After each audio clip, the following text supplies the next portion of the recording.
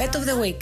Ο Ανέστης είναι ένας πιτμπουλάκο 2 ετών. Μη σας ξεγελάει το σοβαρό του ύφος και η ράτσα του. Ο Ανέστης είναι ένας ήρεμος, τρυφερό νεαρός που λατρεύει τους ανθρώπους, τα χάδια, τα φιλιά και τις ζεστές αγκαλιές.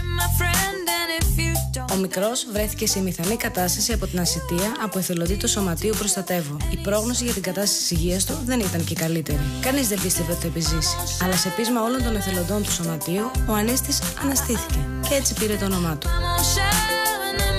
Εάν αναζητάτε ένα πιστό και παιχνιδιάρι φίλο, τότε ο Ανέστης είναι αυτό που ψάχνετε. Υιοθετήστε ένα σκύλο χωρίς σπίτι, δηλαδή τον Ανέστη. Και το Pedigree σας προσφέρει δωρεάν τροφή για τους πρώτους 6 μήνες.